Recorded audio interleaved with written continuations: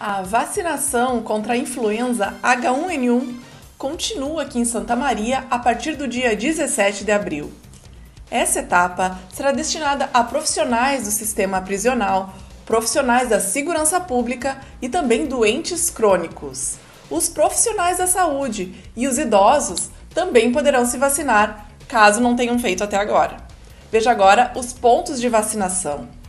Policlínica Crossete, no centro, nas unidades básicas de saúde Wilson Noal, em Camobi, Itararé, no bairro Itararé, Kennedy, no bairro Salgado Filho, Oneide de Carvalho, na Vila Lorenzi, Rubem Noal, na Coab Tancredo Neves, Floriano da Rocha, na Coab Santa Marta, Walter Aita, no bairro Camobi, e Dom Antônio Reis, no bairro Medianeira.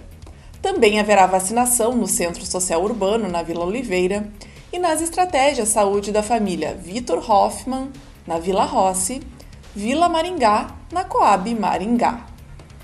Lembrando que é necessário apresentar documento que identifique a ocupação funcional ou atestado médico indicando a prescrição da vacina. Veja mais detalhes no site da Prefeitura, que é o www.santamaria.rs.gov.br.